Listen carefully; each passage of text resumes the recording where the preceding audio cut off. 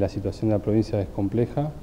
eh, no solo por una situación que ya venía de la provincia, sino también por una merma en varios de los ingresos que componen los ingresos totales de la provincia. Todos estos ingresos que nosotros tenemos proyectados durante, durante el mes o durante el año, en lo que tiene que ver, este, que está expuesto en el presupuesto que hemos enviado este, en la Cámara oportunamente, eh, tienen una periodicidad, digamos, en cuanto eh, a una especie de goteo en lo que tiene que ver con regalías, en lo que tiene que ver con Copa Nacional y con participación provincial. Lo que tiene regalías, la liquidación se hace los días 15, entonces ahí es el ingreso de regalías, ni antes ni después. En lo que tiene que ver con la coparticipación nacional o la coparticipación provincial, es un goteo diario, que está, digamos, altamente relacionado con el nivel de actividad económica. Entonces, Mm, la provincia no cuenta entre el, el día 1 y el día 5 con todos los recursos juntos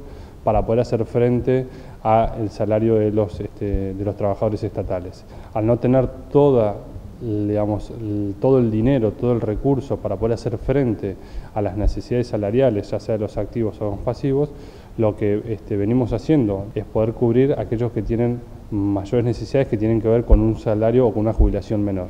y eso es lo que venimos este, considerando a la hora de poder cubrir eh, las necesidades que tienen todos. Entendemos la situación de cada uno de los trabajadores de la provincia, pero la realidad es que nosotros de haber mm, recibido durante el año 2015, como decía, 5 mil millones de pesos de transferencias, aproximados de transferencias del Estado Nacional a la provincia, que servían justamente para poder cumplir, cubrir el déficit y además cubrirlo en tiempo y en forma. ¿Qué quiero decir esto? Que venía la plata y venía en un momento tal que se pueda cubrir ante el vencimiento de los salarios o de las jubilaciones. Eso no lo tenemos. Los ingresos provinciales, con la creación de la CIP, con el Código Fiscal, la ley impositiva, con lo que se ha hecho en materia de recaudación en general, con la profesionalización de la gente y con un montón de cosas que nos quedan para adelante, hemos mejorado los ingresos propios. Pero eso no alcanza a cubrir todo el déficit